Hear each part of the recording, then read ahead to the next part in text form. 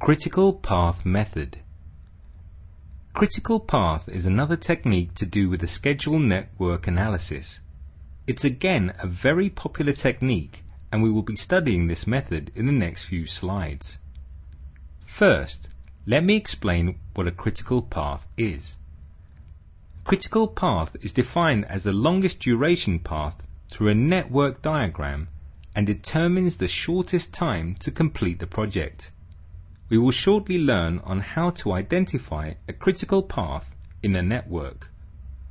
Float is another concept, which is quite important in understanding the critical path. Float is calculated once a network diagram is ready. There are three kinds of float that can be calculated. The first being the total float, which is the amount of time an activity can be delayed without delaying the project end date or an intermediary milestone. The second type of float is free float, which is the amount of time an activity can be delayed without delaying the early start date of its successor or successors' activities.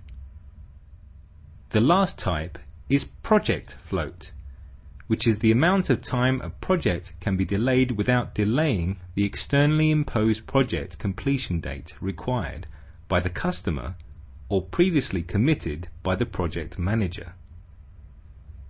You can think of a float as a cushion time available to complete an activity. Float is also called slack. Now let me ask you, what is the slack of the activities on the critical path? The answer is zero. Because there is no scope to delay activities on the critical path. Critical path actually represents the project duration. They actually add together to the project duration, so where is the scope for the delay? Delaying activities on the critical path is as good as delaying the project duration.